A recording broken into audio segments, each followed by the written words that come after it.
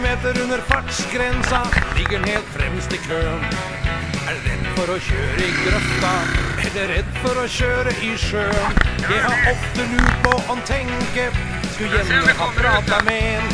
Er jeg heldig og kjem forbi, da må jeg glane på bare for å se en. Men åssen han klarte å få seg førerkort, det skulle han aldri hatt. På det fineste, tørreste føret, så kjører han som om det var glatt. Han ligger der i midten på den gule stripa, har aldri hørt om speil. Han er visst verdens beste sjåfør, kjørt årevis uten feil. Verdens beste sjåfør syns du kjøres som et svin. Han sitter i bilen sin og skjønner ikke at du vil forbi. Verdens beste sjåfør virker nesten hjernedød. Og han bak er et bøllefrø. Sjøl så ligger den der og lager kø.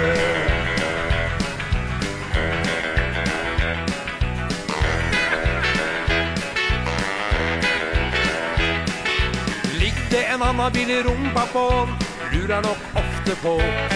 Åssen er det når han bak kjører? Han kjem da til nærmere nå. Oppe ligger han bak med lyset og blunke og bruker tuta si. Fælt at slike skal kjøre bil. Kanskje rett og slett vil forbi. Verdens beste sjåfør syns du kjører som et svin. Han sitter i bilen sin og skjønner ikke at du vil forbi. Verdens beste sjåfør virker nesten hjernedød. Og han bak er et bøllefrø. Sjøl så ligger han der og lager kø. Vettskremt kjerring, mann med hatt. Tysker bak et bobildrapp. Vanskelig å få kjørt forbi. De stjeler ofte tida di.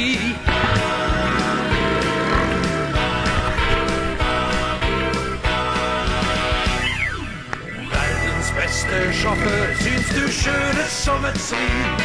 Han sitter i bilen sin og skjønner ikke at du vil forbi. Verdens beste sjåfør virker nesten hjernedød. Og han bak er et bøllefrø. Sjøl så ligger han der og lager kø.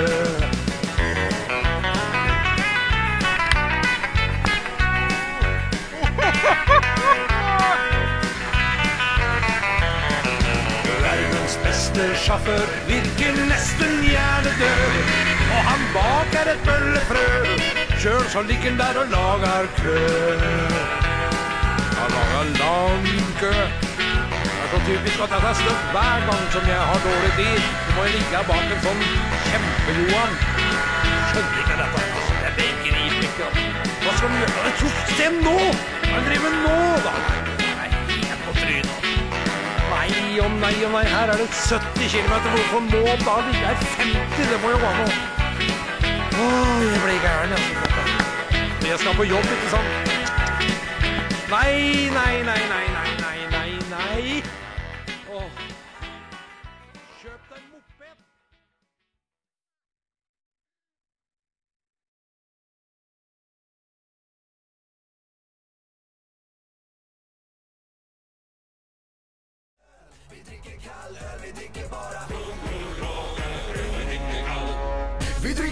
dricker øl når vi borster tenner. Kall øl når vi släcker brenner. Vi dricker kylslagen øl når vi får manikyr på våre hender. Vi dricker riskald øl en dag i kjenden.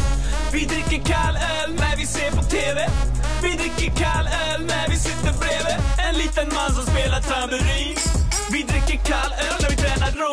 roddmaskin Vi dricker kald øl, vi dricker kald øl, Vi dricker ikke varm öl, vi dricker Får vi höra nu, vad var det Putte berättade precis? Jo, han berättar Det tror jag inte han vet. Jo, Jo. För Emil, han har ju så stor. Och man får inte upp han. Men hur går det för Putte då?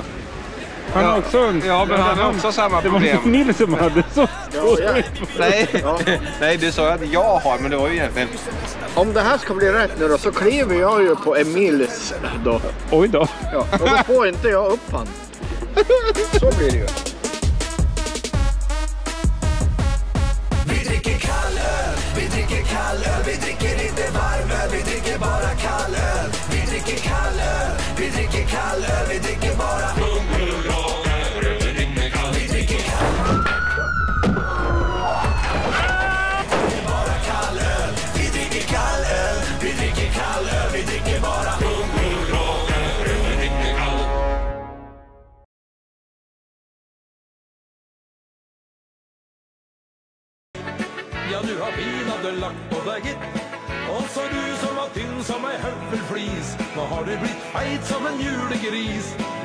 så tjukk du har blitt. Nå må du pinadø slanke deg litt. Har du det bra? Åssen står det til? Det var lenge sia sist.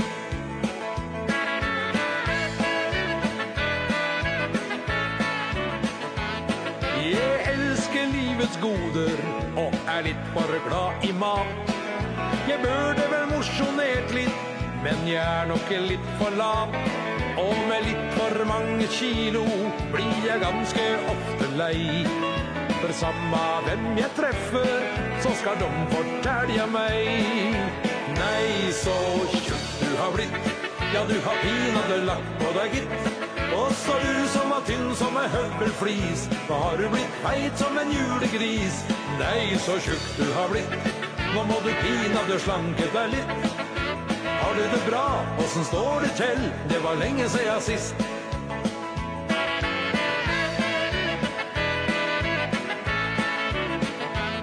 En kveld som jeg var ute, traff jeg en jeg kjente godt. Han klappa meg litt på magen, og så flirte han ganske rått.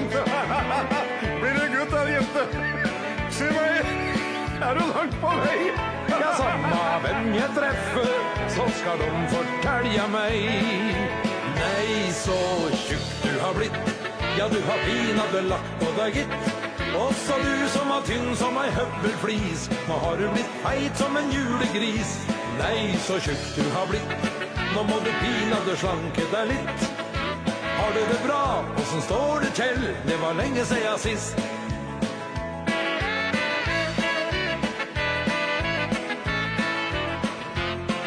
Jeg trøster meg med én ting, jeg kan slanke bort litt fett. Det er mer synd på den som er født med for lite vett. Så til deg som slenger med leppa, det kan kanskje lønne seg. Å finne et annet tema når du tenkte å si til meg. Nei, så tjukk du har blitt, ja du har pinadø lagt på deg, gitt. Også du som var tynn som ei høvelflis, nå har du blitt feit som en julegris. Nei, så tjukk du har blitt, nå må du pinadø slanke deg litt. Har du det bra? Åssen står det til? Det var lenge sia sist.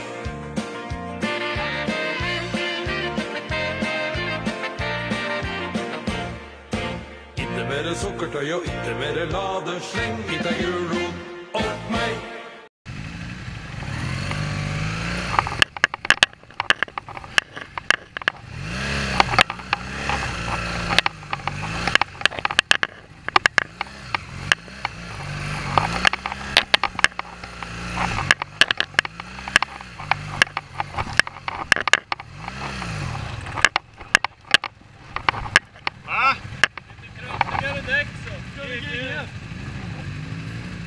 at the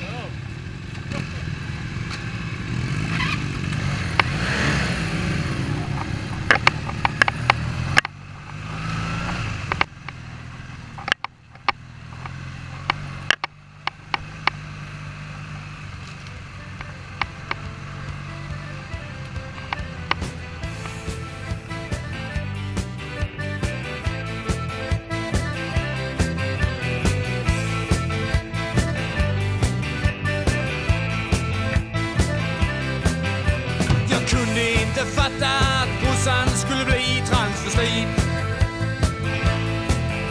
Kirurgerne sylvassa kniver gikk skytteltrafikk. Där huden innan bukta ut, där buktar det numera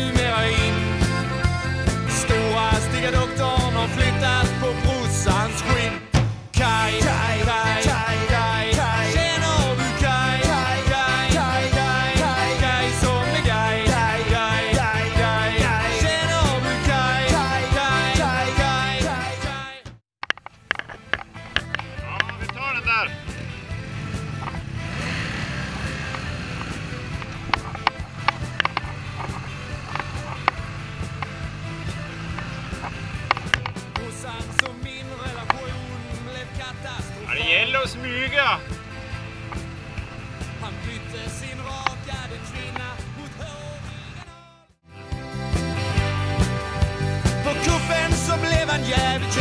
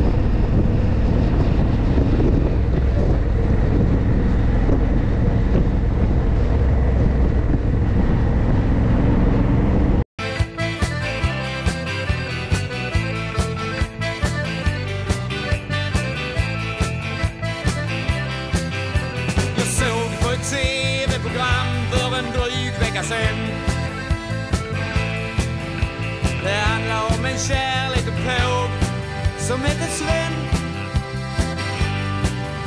Han pratar om hur jävligt det var att inte vara som man ska. Med färgade ögon, frans och parfym på sin lands kaj.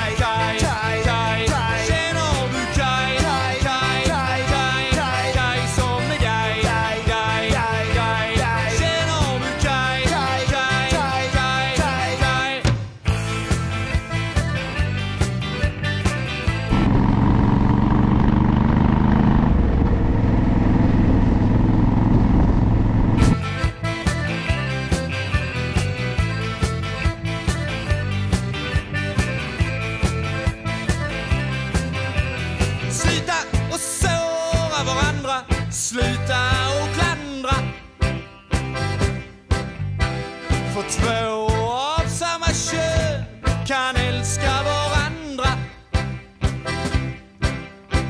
Det er kanskje ikke så kunstig som man kanskje tror. For Sven ifrån TV-programmet ble sambo med min bror.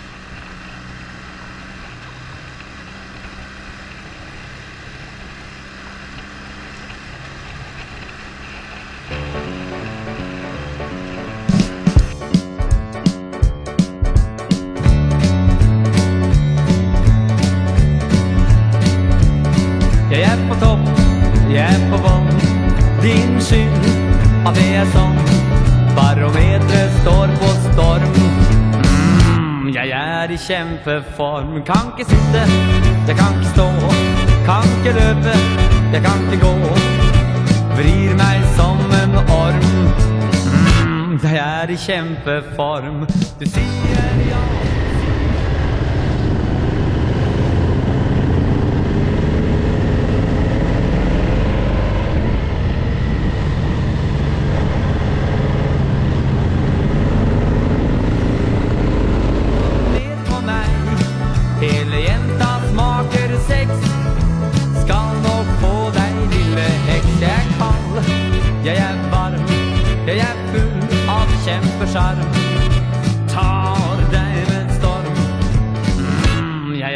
Kjempeform.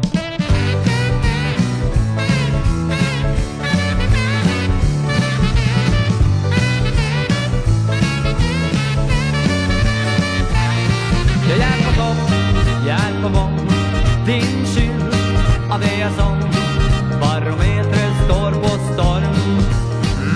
Jeg er i kjempeform. Kan ikke sitte, det kan ikke stå.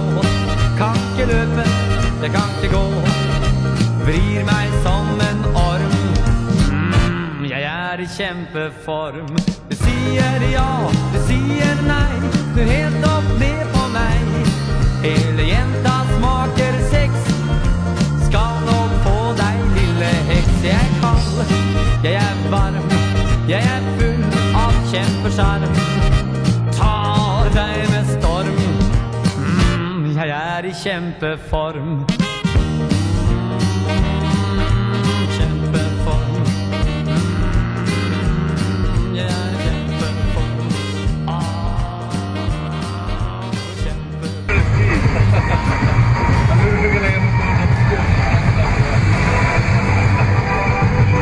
Går det bra grab bak grabbar?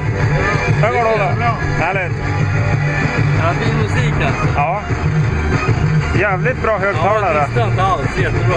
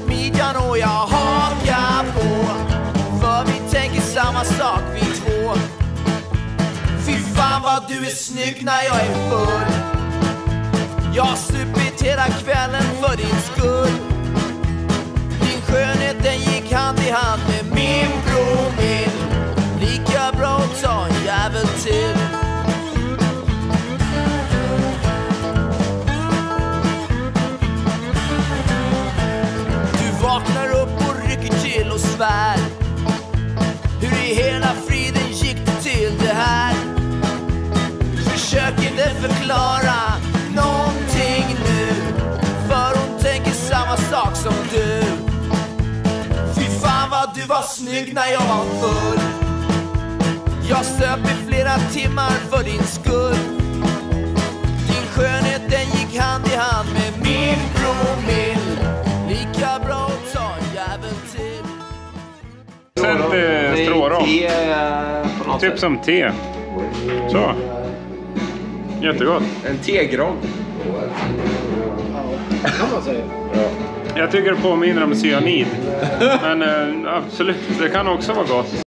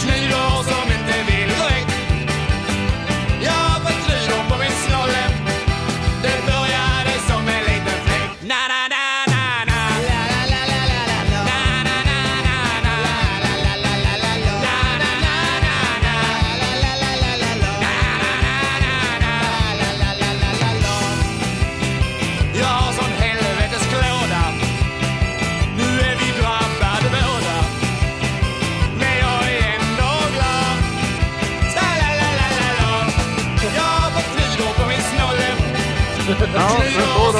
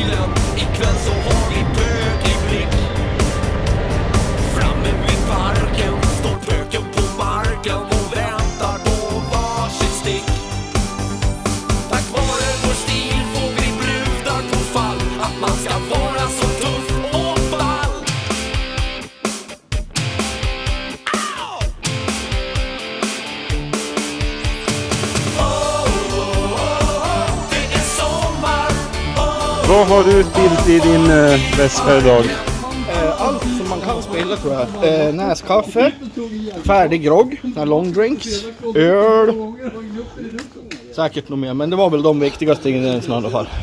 Så det gikk bra.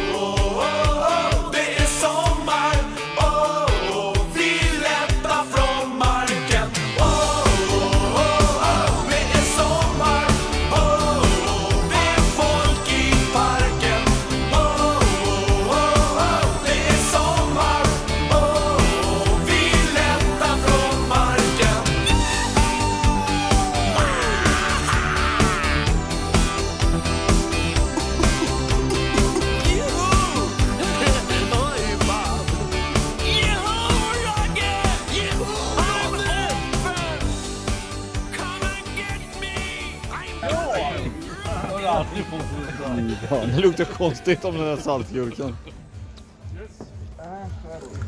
Oh, aj, aj, Det här aj. är ju hälsodrink. Det ingefär. Vi, vi måste visa nu.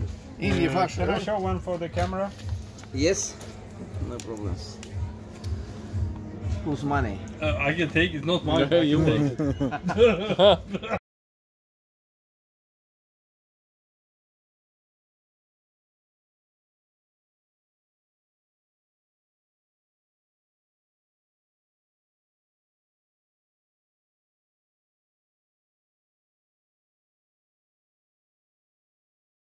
När jag vaknar på morgonen har jag fimpar i mitt hår. Jag orkar inte bry mig vad jag heter eller gjorde igår. Att sänka alla sorger som en jolle i en å. Det kan bara någon som är bakfull förstå. Jag skulle inte ljuga, jag behöver mig en beluga. Men jag finner inte guldet som berövar min själ. Jag vänder upp och ner på hela mitt hus. Jag gråter en stund och ber till vodkan? Ja, var är vodkan? Var är min fina, fina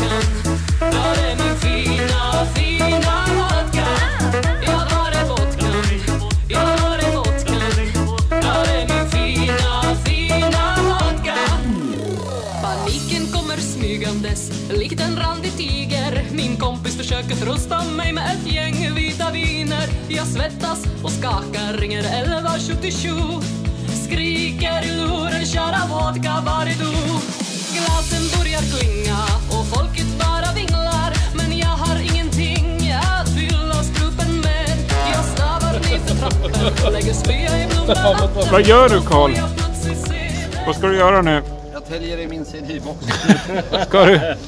Det är ju det är ju fina snickerier här. Ja. Tänkte du också göra någonting fint fast med CD-boxen? Ja, här är vodkan, ja, här är vodkan. Här är min fina, fina